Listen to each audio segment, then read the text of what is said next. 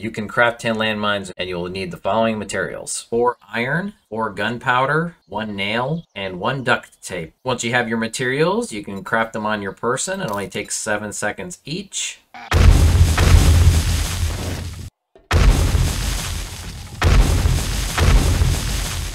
It will also damage the zombies next to it when it goes off. Subscribe!